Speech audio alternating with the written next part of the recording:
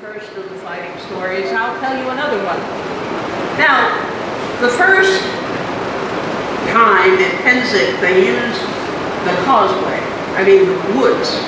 They had a battle where they were doing the woods. They don't do the woods anymore because everybody died of heat exhaustion in it, right? But I had gone because when I had moved to Meridies, I talked to John the Bear Killer. And I looked at him and I said, we're going to, to Pennsic. And when I go to Pennsic, my husband and I will plan, we'll be free. Jonathan is a loose duke. He's a master of arms and he's a duke from another kingdom. So he can go and show what nobles can do. And then I smiled very sweetly at Bear Killer, and I said, but, your grace, you are not a loose duke, and you can't do that. And I walked away. Now, I didn't plan to go to Pennsic. I was just bugging Bear Killer.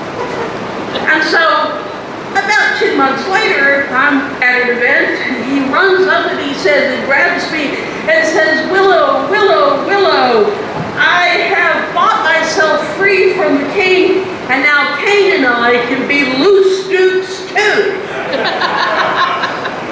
and that means, but I was in a couple because he said, well, I'll have an army, and Cain will have an army, and Jonathan will have an army, and you'll have an army, and we'll be unbeatable. Well, this was pretty difficult because I didn't have an army. And my husband didn't have an army, and we weren't planning on going to Pennsic. So I went down to Ansteorra, right? And there was Patrick Michael on the throne. And he was new king then. And I wandered up to him, and I said, are you going to Pennsic? And he said, no. And I said, well, in that case, I'm in trouble. And he said, Willow, Willow, Willow, what have you done? And I go, well, I arranged this to be loose dukes. And I don't have an army. And if I don't show up with an army, an Ansteorran Duchess will be disgraced. And he looked at me and he said, what do you need? And I said, you need to put the Ansteorrans under my husband. And he did. which of course meant we all went to Pennsic to be the Dark Brigade.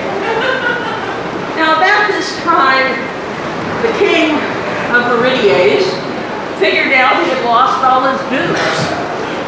So he joined the Dark Brigade. Uh, And we went up and we were fighting this way and fighting that way. And we came to where they had the hill. And every time I went down the hill, I got killed. And you went up to be resurrected. And on the side of the hill, there was all these squires.